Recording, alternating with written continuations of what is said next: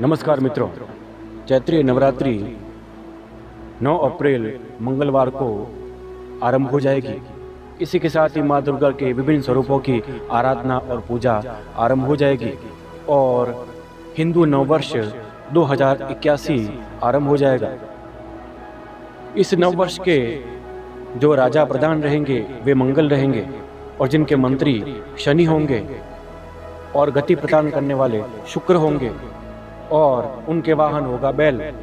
इसके साथ ही नव वर्ष बड़े ही हर्षोल्लास के साथ में चैत्र नवरात्र की प्रतिपदा तिथि यानी पहली नवरात्रि से आरंभ हो जाता है।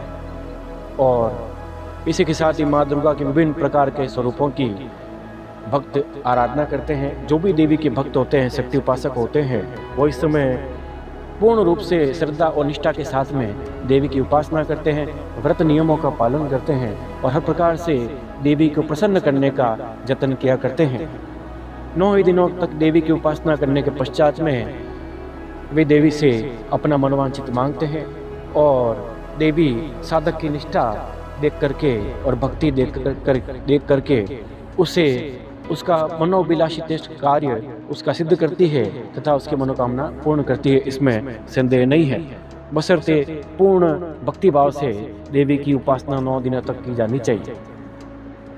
इसी के साथ में नवरात्रि के दिनों में महाविद्याओं दश महाविद्या उपासना भी की जाती है, जिसके अंतर्गत दसों महाविद्याओं की उपासना की जा सकती है, जिसमें प्रमुख रूप से माँ पीताम्बरा बगलामुखी की उपासना, माँ दुमावती की उपासना, माँ तारा की उपासना, माँ चिन्नमस्तिका की उपासना, माँ काली की उपासना इत्यादि की जाती है।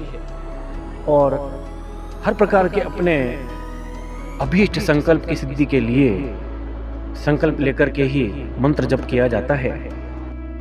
माँ विद्याओं के अलावा विभिन्न प्रकार की तंत्र साधनाएँ भी इस दौरान देवीय साधनाएँ संपन्न की जाती है, जिसमें अप्सरा साधना और योगिनी साधना सम्मिलित है।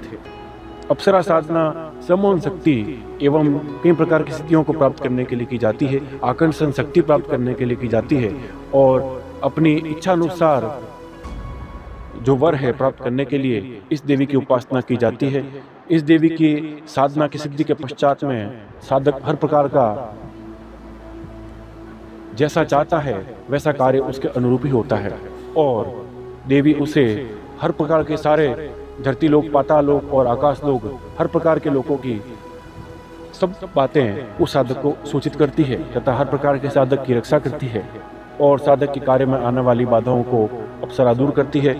इसमें प्रमुख रूप से कुंडला हरणी अप्सरा एवं पूर्वशीर अप्सरा की साधना की जाती है। साधना 21 दिन की होती है और नवरात्रि में आरंभ की जा सकती है।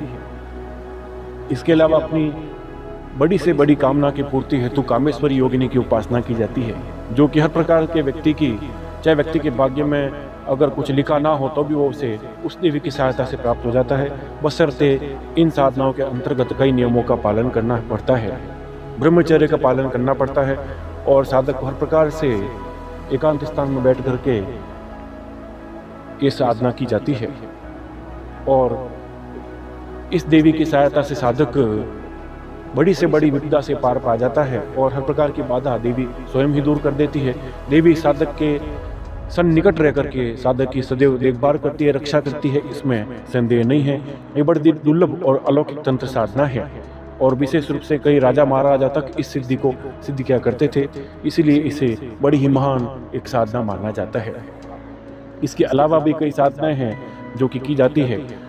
जो व्यक्ति ज्योतिष का काम करते हैं, उनके लिए या ज्योतिष सीखना चाहते हैं, उनके लिए पंचांगुली सिद्धि, जो भी नवरात्रि में की जाती है, पंचांगुली देवी का स्थान अपने हस्त के मध्य में होता है। इस देवी की सहायता से साधक को सामने वाले व्यक्ति का भूत, भविष्य और वर्तमान काल ज्ञात हो जाता है। और विशेष रूप से इसे नवरात्रि के दिनों में शुरू किया जाता है और इसकी सिद्धि तीस दिन में लगभग पूर्ण होती है। इन सभी साधनाओं के सिद्ध यंत्र अपने गुरु से प्राप्त करके उस यंत्र को पंचोपचार पूजन करने के पश्चात में बाजोट पर अष्टदल बना करके उसके ऊपर स्थापित करना चाहिए। उसके समकक्ष गुटिका स्थापित करके फिर अपने गुरु द्वारा ही दी गई प्रदत्त माला से ही इनका जप करके इनकी सिद्धि हासिल की जाती है।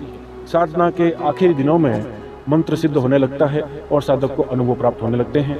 अपने अनुभव अपने गुरु के सिवाय किसी को बताने नहीं चाहिए। ऐसा करने से देवी रुष्ट होकर के साधना की सिद्धि नष्ट कर देती है, फिर दोबारा मेहनत करने पर वो सिद्धि उसे प्राप्त नहीं होती है। धन्यवाद।